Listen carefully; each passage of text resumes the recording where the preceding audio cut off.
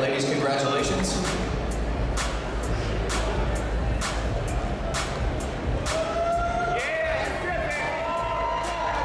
All right. Congratulations, guys. What was it like being up there and you know doing the overall? Um, it was thrilling. It was it was something totally different, you know, to see the crowd cheering for you and get called out to get the overall. It's definitely an amazing feeling. Talk about your coach next to you. What, what's it like working with him?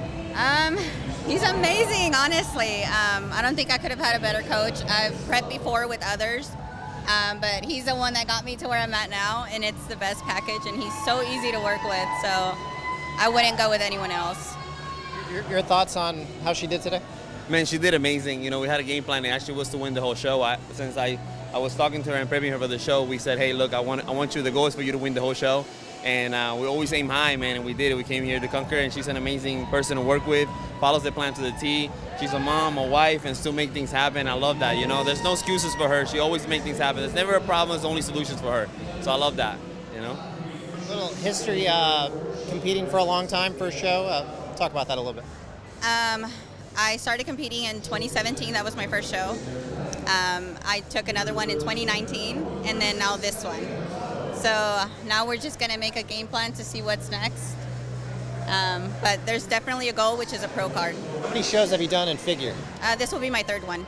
Leave us with some advice. Three tips for uh, you know someone who's just starting out in the NPC to, to be successful. I think it's number one being patient, be, being being patient.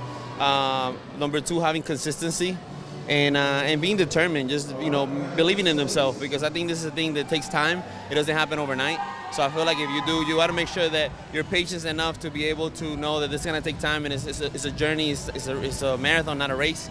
So it just takes time. Like she said, she's been competing. She's done three shows. It's her third show, and now she get here overall. You know, a lot of us, you know, people competing for 10 years and then they're getting a pro card. So it just takes time. You gotta love the sport. But I would say patience, consistency, and determination for sure. I know you, you guys' time is so valuable, so thank you. All right. Thank Have a good one.